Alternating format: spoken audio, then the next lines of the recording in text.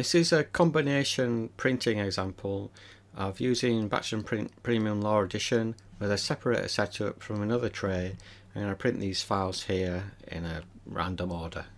So I'm going to drag and drop these files into the software first. I'm going to mix up the order a little bit so you end up with uh, TIFFs in between PDFs so you can see it printing correctly. Now if I scroll across you can see that the add-on parameters are set for the TIFFs because they're printed internally. Now with Batch and Print Premium Law Edition, by default it will use um, Adobe Reader or Adobe Acrobat to print PDFs. If you go into File menu, PDF print settings, settings, you can see that the default settings are set like this. Now it will use, like I say, Reader or Acrobat first. If that isn't installed, it will print internally the PDFs.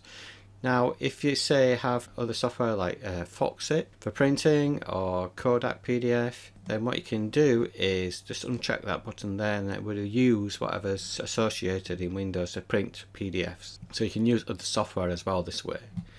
But by default you can just leave that set. You don't need to change anything. So to do the separator, File menu, Printer Setup. So I've got this printer set up to tray 1 here. So what I want to do is print the files on tray 1 and I want to print the separator on tray 2.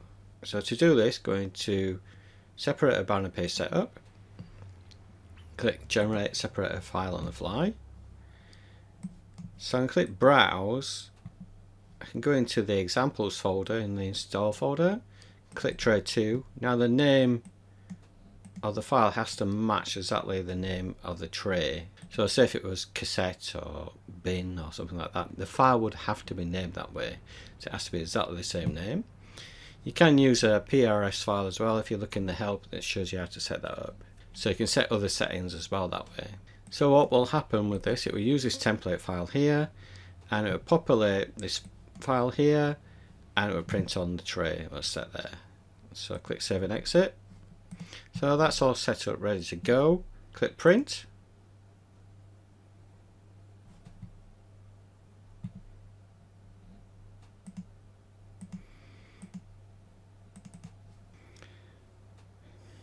So that's going down the list of files now. If I click on the, um, the printer, you can see what's happening.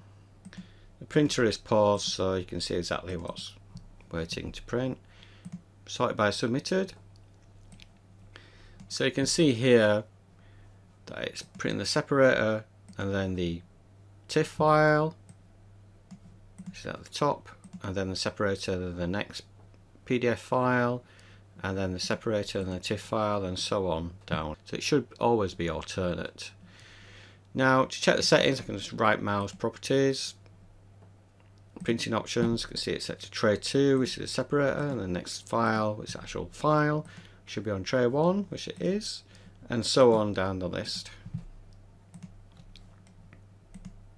And that would only change the tray settings.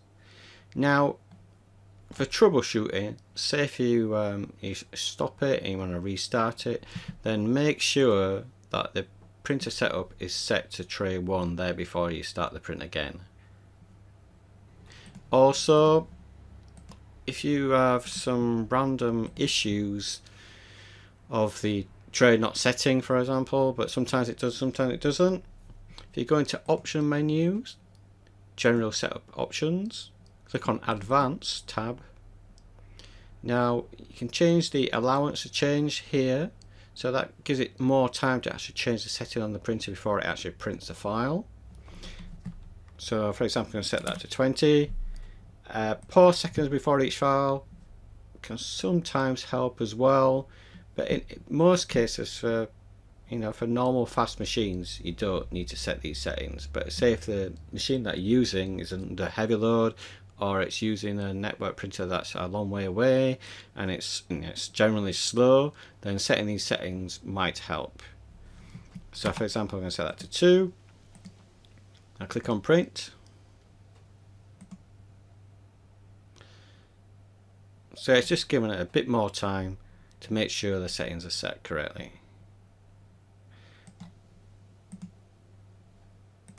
So that's tray 2.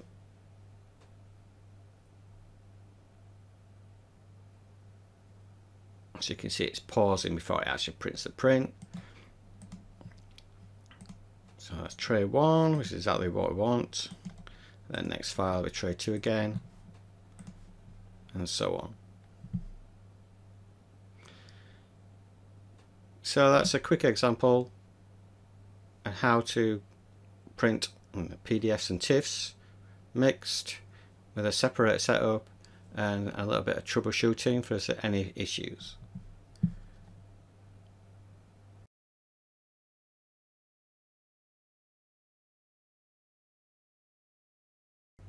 So that's now finished. If I quickly launch this program here, I can see quickly all the tray settings there. So sort by submitted.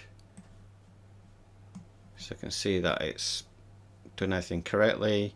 These are files actually waiting to print on the printer, which is paused, and number of copies and things like that have been set. So this is exactly what we want. And that's it. Give it a try.